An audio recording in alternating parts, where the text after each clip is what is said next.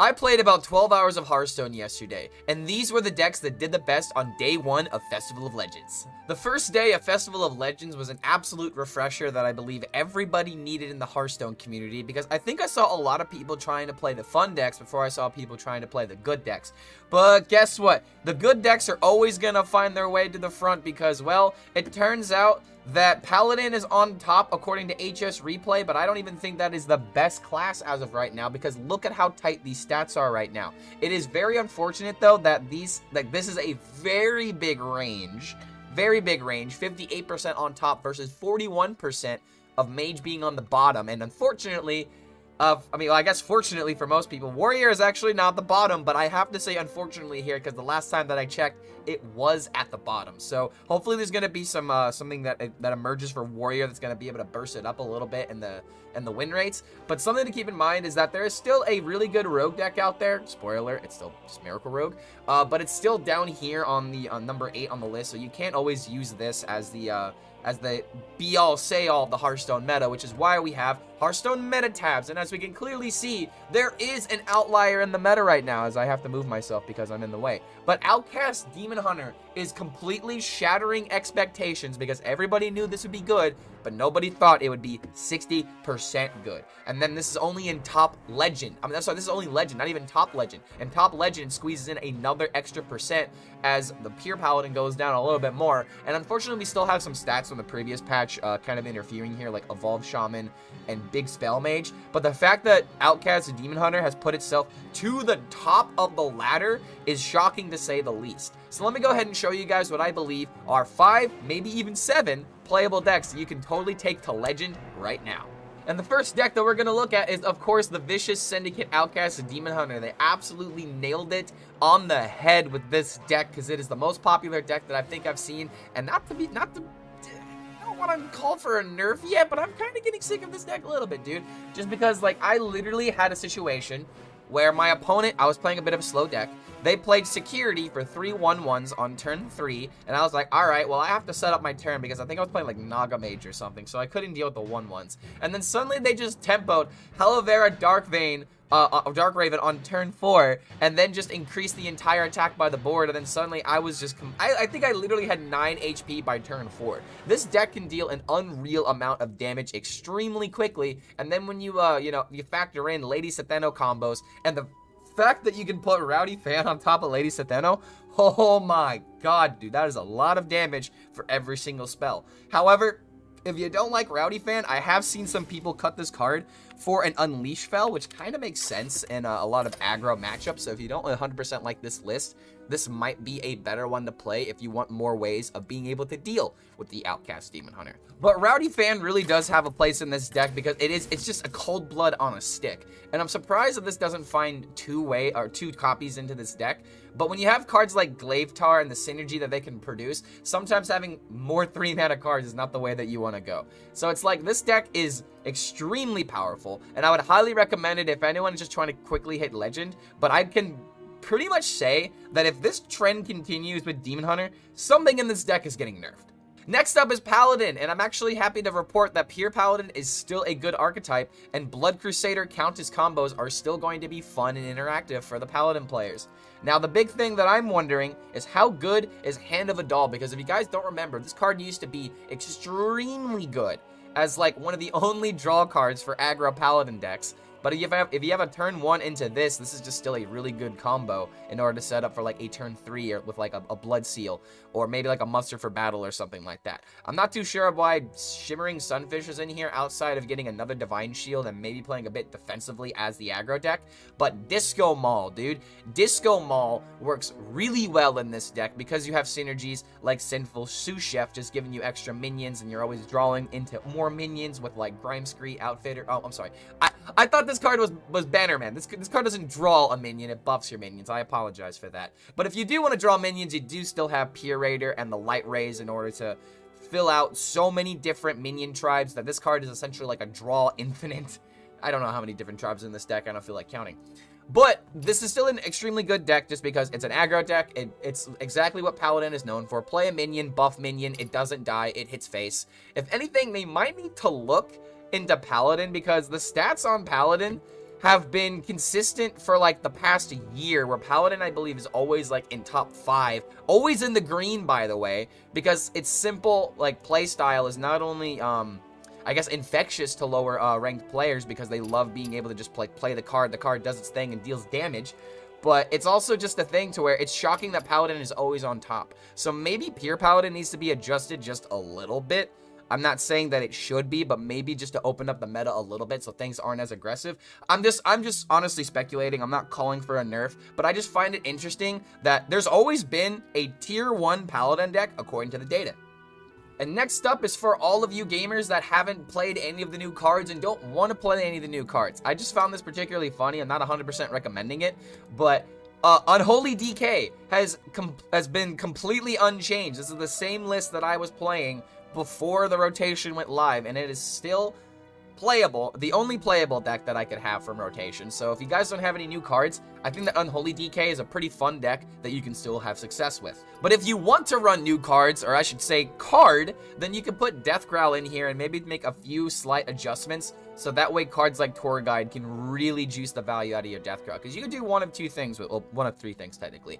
You can stick it on an egg, you can stick it on a different egg, or you can put it on your card draw, or technically on your 1-1s that are on your minions that summon 1-1s, but that's not really all too good. I'm kind of surprised not to see Cagehead in this deck, just because, you know, I thought that maybe someone would try it. This is a no-hands list, by the way. And if you do want to be a little bit more gimmicky, you could go ahead and put the Cagehead in here. I'm not really sure what you take out. You can probably just take out like a one drop or like maybe even just like take out this egg, but then you have less synergies with the with the death growl. So I'm just gonna say let's take out an amalgam and put in the cage head. Maybe not the best option here, but I like the idea of cage head because if you were to kill this off uh, with the uh, the construction, then you have an immediate combo, or I'm sorry, an immediate damage dealing uh, nine nine you, you get to deal 9 damage immediately. I don't know exactly where I was going with that. But the other idea is if you were to play Cagehead with Tour Guide and then have Death Growl, I'm sorry, with Tour Guide already played and have Death Growl in hand, then you can potentially stick this Death Rattle on two other minions. Guaranteed one other minion that you can trade into immediately and get that 9-9. So if you have the Construct Corridor already, already on the field, you could do something like this.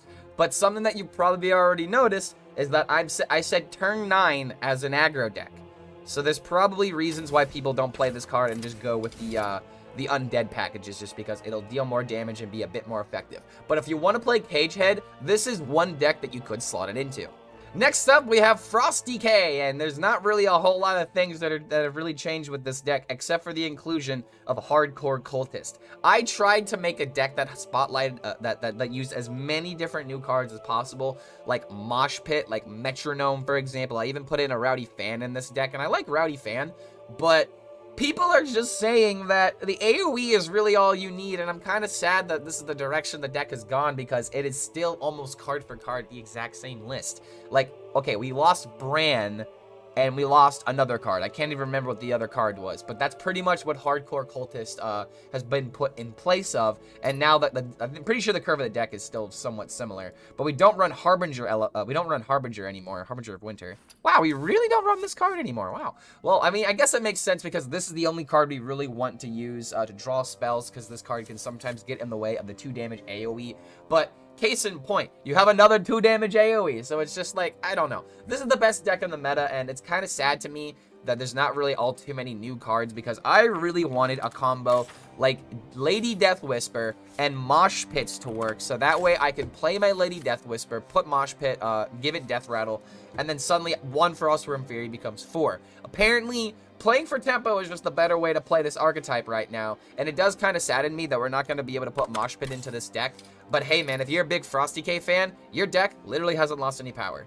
One thing I am very concerned about is how many decks that were really good in the previous expansion are still very good right now with minimal changes to the lists. And honestly, I'm not even 100% sure if Breakdance should belong in this deck, but one synergy that I believe is important to note is that Breakdance with uh, Scribbling Stenographer is actually an insane consistent synergy because you're always playing this card for like one or zero mana anyway. You breakdance it, you get it back to your hand, and then you have a 4 4 a 4 attack minion that's summoned with this, and then yet another 4 4 that you can play from hand. And don't even get me started on how good Draka and Sinstone still are. They are still insane cards. I cannot believe this card was printed as 2 mana, give a minion also stealth. Like, this this archetype is just going to be extremely good, and one thing I am very worried about is how you can do muzzle their magic, shadow step, muzzle their magic, shadow step, muzzle their magic, Shadow Demise into muzzle their magic, and then if you have two more ma uh, mana, you can play another Cult Neophyte, making your opponent's spells cost four more, making it that much more difficult to even begin to think about dealing with Sin Stones as well as dealing with the Draka weapon. This deck is my contestant to probably being one of the best decks, if not the best deck, if put into the right hands. Granted, it does need a metagame to support it if things are extremely aggressive at the lower ranks. It's really hard to play with Miracle Rogue. But again, at the lower ranks, people are not playing their outs fully, they're not mulliganing properly, and sometimes they're making very crucial mistakes that are going to lose automatic win games if you knew what you were doing. However, the potential of this deck is still here. It's still scary, and I swear to God, if Miracle Rogue is the number one deck, I'm gonna be upset. It could be number two. It can be number two. I don't care if it's number two. Just please, for the love of God, I don't want this deck to be the best deck in Hearthstone for another expansion. Next up, we have what I had the most fun with on day one, and that was Naga Spell Light Show OTK weird tempo deck. I'm not, this is just a weird deck that I am absolutely in love with because Spitelash Siren is one of my favorite mage cards that has come out in recent years. And well, the addition of Mistake maybe was just a mistake for this deck because now we have a third one mana Naga that we can put into this deck because you do have Vicious Slitherspear as the original, but don't forget you do have School Teacher in order to set up your Spitelash Siren combos. Now you guys are probably noticing the Light Show. Light Show Mage has been abysmal on the uh, on the on the meta tabs and on the data and all of that because people don't know how to build this deck. But I believe the best way to use Light Show is in the deck that cheats the most amount of mana. Because something that you can do is obviously you can find other copies of Light Show from Re Rewind. But something else to consider is that that wisdom, um, Vast Wisdom I keep calling this vat wisdom like a vat of acid. I don't know why. It's just me pronouncing the words too quickly. So if I say vat again, just understand that. Uh, but vast wisdom can give you a one mana light show depending on what card you discover from this. So there are so many ways of being able to discover extra light shows that you deal a lot of damage. Don't forget, there's a spell damage Naga in this deck. So you can easily make these deal four and then shoot five extra four damage light shows, and this card becomes sig significantly scary. I literally did a turn six OTK, playing the Siren, doing all the combo, and then playing light shows and killing my opponent all by turn 6. And this is going to be the next deck spotlight that I end up making, which is going to come out in the next couple of hours. So if you like this content, feel free to like this video and subscribe to the YouTube channel. But regardless, man, Naga Mage feels like it has potential again, but in an aggressive meta, it's not going to do the best, but I had to put this on the list because I thought this was the most fun deck that I could play on day one. I had a lot of success with it, averaging about a 50%, with a lot of misplays, by the way. My god, the, the amount of times I played Naga into Naga into Naga instead of Naga Naga spell, oh my god, that, that drove me crazy. But regardless, man, this deck has a ton of potential, and once you see the video that I'm posting later today, you might be sold on this deck. And the last deck that I need to showcase is Bunnyhoppor's Warrior, because my god, Warrior may not have the best stats in the world, but not everybody is Bunnyhoppor. And once, once I explain this deck to you, you guys are probably going to immediately copy this deck code, because I saw the Giants in here, and I didn't understand it at first. But trust me, they are good. You want to know why they're good? How about gaining 20 armor from Igneous Lavagorger? Pretty good, right? Well, that's only if it's at the bottom of your deck, so that's kind of a high roll, right? Well, hold on a second. What happens if we black rock and roll, give all your minions in your deck attack and attack and health equal to their cost? Oh my god, that's a 28-28. Now do you see the magic? This can literally be a zero mana 28-28. Think just just just just hope that your opponent doesn't have uh doesn't have solid removal for this card. But that is what is going on with this deck right here. It is trying to be Control Warrior with a legitimate win condition of playing big minions by playing Black Rock and Roll into Trench Stalker, Naga Giant, or even Remornia and uh, Decimator Olgra. Now, one thing to keep in mind is if you do draw these cards, you can play Finley. And something that is very important to take note of, depending on what the far left card is, and if you've drawn half of your deck, you could literally do a combo. Like, let's say that Trench Stalker is in the far left of your hand, and you haven't drawn Black Rock and Roll yet with half of your cards in your hand and the other half in your deck. You play Finley, essentially swap those, you find the Black Rock and Roll, play it, and then the next turn you can get value out of your Trench Stalker, so there is ways of turning your low rolls into legitimate plays that might be able to win the game. And then in that in that aspect, you might even be able to throw out some 8-8s depending on uh, if they're at the bottom of your deck or not. So this deck has a lot of potential for it, and Warrior still is going to have to go under a lot of changes to figure out if this is the way to play Warrior or if Menagerie is just the way that we need to start investing our time.